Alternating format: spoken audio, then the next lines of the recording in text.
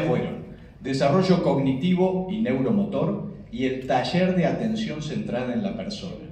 Estas jornadas fueron organizadas por la Dirección General de Nuevas Economías, dependiente de la Secretaría de Desarrollo Social de la Municipalidad de General Pico, a través del... Les manda un saludo muy grande, ella que está coordinando el curso no pudo estar hoy aquí.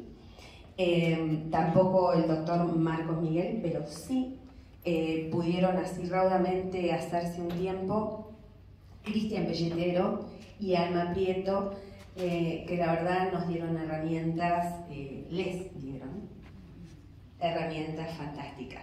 Así que a mí me gustaría pasarles un poquitito el micrófono, despedirme de ustedes, decirles que estamos a disposición que lo que requieran y necesiten nos lo hagan llegar